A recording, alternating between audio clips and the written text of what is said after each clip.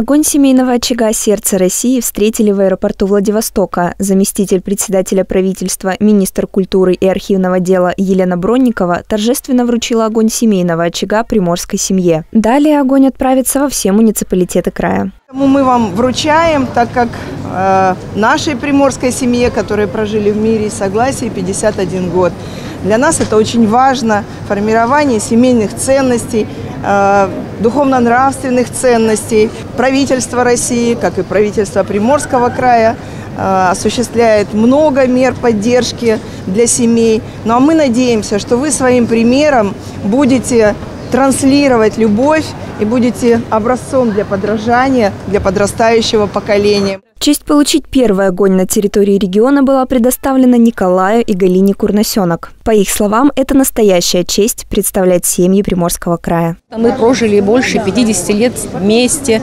воспитали детей, внуков. Вот. Я думаю, вот из-за этого. Но это, в общем-то, за нашей спиной семьи Приморского края стоят на самом деле.